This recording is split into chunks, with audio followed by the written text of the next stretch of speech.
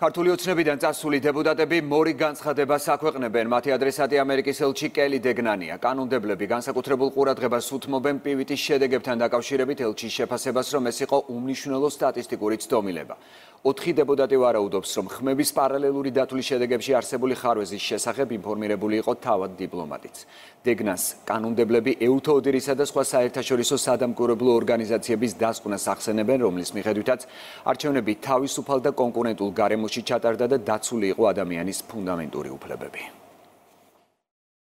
საზოგადოებისადმი ჩვენი მორიგი მიმართვა გვინდა დავიწყოთ მადლობით ამერიკის ელჩის ქალბატონ კელი დეგნანის მიმართ. გვერწმუნეთ ამ მადლობაში მცირეოდენი ირონიაც კი არ არის. როგორც მოგეხსენებათ, ჩვენი მთავარი მიზანი საზოგადოებამდე იმ სიმართლის მიტანა, რომელიც ქართული პოლიტიკის კულისებს მიღმა იმალება. სწორედ ხალხამდე ამ სიმართლის მიტანაში ყველაზე მეტად გვეხმარება ქალბატონი დეგნანი, რომლის ყოველი ახალი განცხადება მორიგი აღიარებით იჩვენება.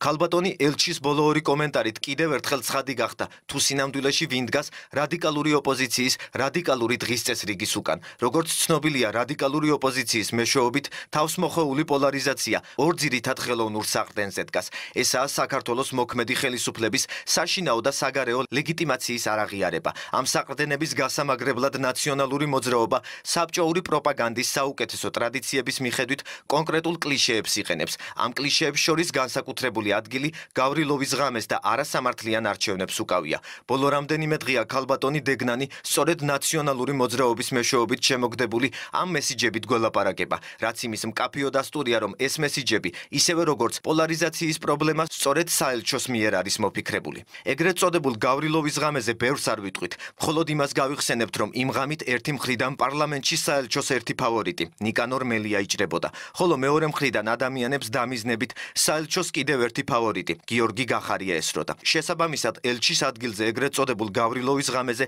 ძალიან ცოტას ვილაპარაკებდით. როგორც ცნობილია, სიბრძნის ლაპარაკი ვერცხლია, დუმილი კი ოქრო. როდესაც ვერცხლი შენგან ასე შორსაა, ხოლო ოქრო წინ გიდევს და არაფერში იყენებ, ეს რბილად რომ თქვა დანაშაულია იმ სახელმწიფოს წინაშე, რომელსაც პარტნიორ ქვეყანაში ღირსეულად უნდა წარმოადგენდე.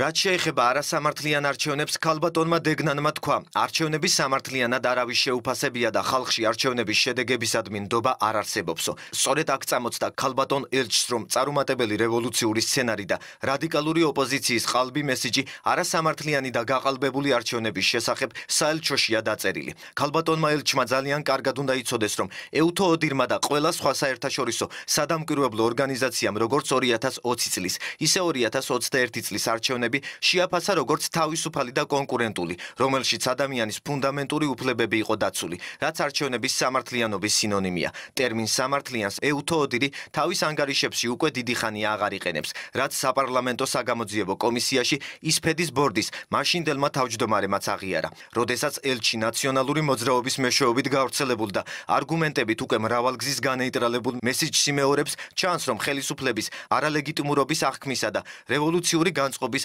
ხელოვნურად ჩამოყალიბება მისთვის თვითმიზანია. ქალბატონმა ელჩმა ასევე აღნიშნა ყველა სადამკვირვებლო ორგანიზაცია ამომრჩეველთა დაშინებაზე, ხმების ყიდვაზე, ძალადობრივ ადმინისტრაციულ რესურსებზე და ეგრეთ წოდებულ კარუსელზე მიუთითებდაო. ქალბატონ დეგნანს გვინდა შევახსენოთ, რომ ყველა ეს თემა საფუძვლიანად იქნა შესწავლილი საპარლამენტო საგამოძიებო კომისიის მიერ. მათ შორის დეტალურად გამოიკითხნენ დამკვირვებელი NGO-ების ხელმძღვანელები. საბოლოოდ დადგინდა, რომ არც ერთ სადამკვირვებლო ორგანიზაციას რაიმე მყარი ფაქტები ამომრჩეველთა დაშინების, ხმების ყიდვის თუ ადმინისტრაციული რესურსის სისტემური გამოყენების შესახებ არ ქონდა. სრულიად სამართლიანად საქილიკო თემადაც კი იქცა ის ფაქტი, რომ ადგილობრივი სადამკვირვებლო ორგანიზაციები დარღვევებზე საუბრისას ყოველ ჯერზე სიტყვა სავარაუდოს იყენებდნენ, რითაც მტკიცების ტვირთს სრულად იხსნიდნენ. ეუთოოდირი და სხვა საერთაშორისო სადამკვირვებლო მისიები საელჩოდან მართული NGO-ების მიერ ჩამოთვლილ სავარაუდო დარღვევებზე რომ მიუთითებდნენ, ეს ელჩისთვის დიდი ვერაფერი შეღავათია. რაც შეეხება ეგრეთ წოდებულ კარუსელს, ეს ტერმინი ეუთოოდირის ანგარიშში საერთოდ არ მოხვდა და ელჩი რომ რადიკალური ოპოზიციის მიერ მოგონილ ამ ფეიქს იმეორებს, ჩვენთვის გასაკვირი აღარ არის. სრულიად გამაოგნებელი იყო ელჩის მორიგი გზავნილი ისფედის მიერ ხმების პარალელური დათვლის შედეგების გაყალბების შესახებ. ქალბატონმა დეგნანმა ხმების პარალელური დათვლის გაყალბებას უმნიშვნელო სტატისტიკური ცდომილება უწოდა და თქვა, ისფედის მიერ შეცდომის იდენტიფიცირება მალევე მოხდაო. საზოგადოებამ ძალიან კარგად იცის, რომ ერთიც და მეორეც უმძიმესი ტყუილია. ამასთან შეუძლებელია ამის თაობაზე ინფორმაცია ელჩს არ კონდეს და მხოლოდ უნებლიეთ სრულობდეს. რაც შეეხება უნიშნელო სტატისტიკურ ცდომილებას, ხმების პარალელურ დათვლას იგივე პივიტის აქვს ცდომილების დასაშვები ფარგლები, რაც ისფედის მეთოდოლოგიის მიხედვით 0.7%-ს შეადგენს. ეს ნიშნავს, რომ არჩევნების ოფიციალურ შედეგებსა და პივიტის შედეგებს შორის სხვაობა 0.7%-ზე მეტი არ უნდა ყოფილიყო. ქართული ოცნების შემთხვევაში ცესკოს და პივიტის მონაცემებს შორის დაფიქსირდა 2.4%-იანი სხვაობა, რაც ნიშნავდა, რომ არჩევნები იყო გაყალბებული ამ პივიტი. შეგახსენებთ, რომ 2.4%-ი დაახლოებით 50000 ხმაა და პივიტის ამდენი ხნით გაყალბება უმნიშვნელო სტატისტიკურ ცდომილებად ვერანაირი მათემატიკით ვერ ჩაითვლება. ბუნებრივია 2.4%-იან ცდომილებაზე დაყდნობით რადიკალური ოპოზიცია და NGO-ები არჩევნების გაყალბებაზე საუბრობდნენ, თუმცა საბოლოოდ გაირკვა, რომ არჩევნების ნაცვლად პივიტი იყო გაყალბებული. რაც შეეხება იმას, რომ თითქოს ისფედის მიერ ცდომილების იდენტიფიცირება მალევე მოხდა, ქართული ოცნების ლიდერებმა პივიტის ცდომილებაზე პირველად ჯერ კიდევ 3 ნოემბრის ბრიფინგზე ისაუბრეს.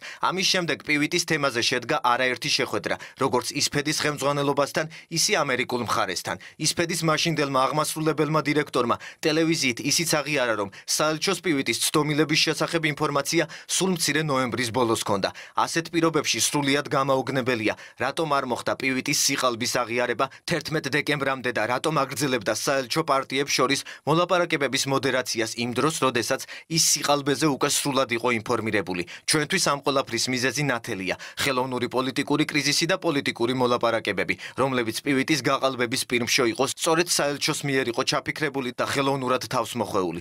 აქვე კიდევ ერთხელ შეგახსენებთ, რომ პივიტისთან ერთად ისფედმა გააყალბა კიდევ ერთი მონაცემი 8%-იანი უარყოფითი დისბალანსის შესახებ, რომელსაც ისფედისვე დასკვნით არჩევნებზე 4.1%-ის მოცულობის გავლენაც კი შეიძლებოდა ქონოდა. მთლიანობაში ისფედმა ქართულ ოცნებას ხმების პარალელურ დათვლაში 45.8% დაუწერა და ამას 4.1%-საც თუ გამოვაკლებდით, გამოდიოდა რომ საპარლამენტო არჩევნებში ქართულ ოცნებას არა 48.2, არამედ 41.7% შეიძლება მიეღო. შეგახსენებთ რომ სწორედ ისფედის ფეიკებზე დაყდნობით ცდილობდა ნიკა გვარამია მის მიერ გაყალბებული ეგზიტ პოლით და ამ ეგზიტ პოლში წარმოდგენილი ქართული ოცნების 41%-იანი შედეგი არჩევნების რეალურ შედეგად გაესაღებინა. მოგვიანებით დადგინდა რომ უარყოფითი დისბალანსის მაჩვენებელი 1%-საც კი არ შეადგენდა, თუმცა ისფეთს ეს სიყალბე დღემდე არ უღიარებია. ასევე სრულიად გამაოგნებელი იყო ელჩის განცხადება ნაციონალური მოძრაობის ახალგაზრდული ორგანიზაცია სირცხვილიას მიერ გავრცელებული პოლიტიკური შინაარსის კლიპის შესახებ, რომლის გამოც ნაციონალური მოძრაობის კუთვნილი ტელევიზიები დაჯარიმდნენ. როგორც ცნობილია, არასაარჩევნო პერიოდში ტელევიზიებში პოლიტიკური რეკლამის განთავსება აკრძალულია. სირცხვილიას კლიპი კი თავისი შინაარსით პოლიტიკურიც იყო და რევოლუციურიც. როდესაც ასეთი კლიპის გამო ტელევიზიების ლეგიტიმურად დაჯარიმებას აპროტესტებ, ეს კიდევ ერთხელ ადასტურებს, რომ რევოლუციური სცენარი სწორედ საელჩოს მიერ არის მოფიქრებული და დაორგანიზებული.